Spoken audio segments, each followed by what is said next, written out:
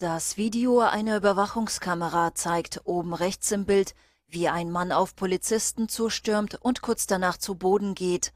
Der Mann hatte vor der Kathedrale Notre Dame drei Polizisten bedroht und auf einen von ihnen eingeschlagen. Die Kollegen des Angegriffenen haben daraufhin Schüsse abgegeben. Der Attentäter soll Das ist für Syrien gerufen haben. Der Mann wurde Polizeiangaben zufolge in ein Krankenhaus eingeliefert. Ein Beamter sei verletzt worden. Unterdessen verdichten sich die Hinweise auf einen terroristischen Hintergrund der Attacke. Der mutmaßliche Täter soll Justizkreisen zufolge ein 40-jähriger Student aus Algerien sein.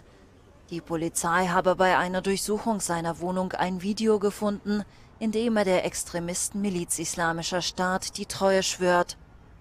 Am Sonntag findet in Frankreich die erste Runde der Parlamentswahlen statt.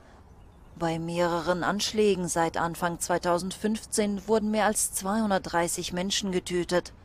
Derzeit gilt der Ausnahmezustand.